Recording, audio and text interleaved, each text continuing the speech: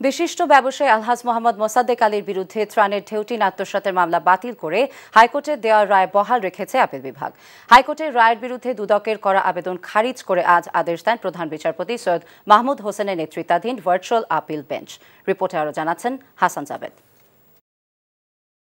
তত্ত্বাবধায়ক সরকারের আমলে দু হাজার সাত সালে ষড়যন্ত্রমূলকভাবে রাজধানীর তেজগাঁও থানায় একশো বান্ডেল ত্রাণের ঢেউটিন আত্মসাতের অভিযোগে আলহাজ মোহাম্মদ মুসাদ্দেক আলী সহ ছয়জনের বিরুদ্ধে মামলা করেছিল দুদক।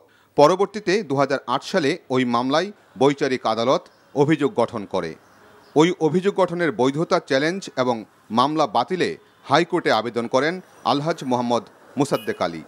সেই আবেদনের চূড়ান্ত শুনানি নিয়ে দু হাজার আঠারো সালের সাতই মার্চ মামলা বাতিল করে রায় দিয়েছিল হাইকোর্ট। সেই রায়ের বিরুদ্ধে দুদকের করা আবেদন বুধবার খারিজ করে দেয় আপিল বিভাগ। মোসাদ্দেক আলী ফালুর ক্ষেত্রে যে ক্রিমিনাল ইন্টেনশন ম্যানস্ট্রিয়া এটা আমরা পাচ্ছি না, হাইকোর্ট বলল। ঠিক একই কথা আপিল বিভাগও বলল। দ্যাট মিনস ওনার বিরুদ্ধে এফআইআর চার্জশিটে যে অপরাধের কথা বলা হয়েছে, সেই অপরাধটা হাইকোর্ট ডিভিশন এবং আপিল বিভাগের কাছে যথোপযুক্ত মনে হয়নি। সেজন্য এই আত্মসাৎকৃত টিনের মামলায় ওনার অংশটুকু, ওনার পোর্শনটুকু বাতিল করা হয়েছে। রায়ের পর আলহাজ মোহাম্মদ মুসাদ্দেক আলীর আইনজীবী জানান মূলত রাজনৈতিক উদ্দেশ্যেই ত্রাণের টিন আত্মসাতের মিথ্যা মামলা সাজানো হয়েছিল। রাজনৈতিক হরানির কারণে এই মামলা করা হয়েছে, অসৎ উদ্দেশ্য করা হয়েছে। প্রকৃতপক্ষে ক্ষেত্রে কোনো আত্মসাদ হয়নি।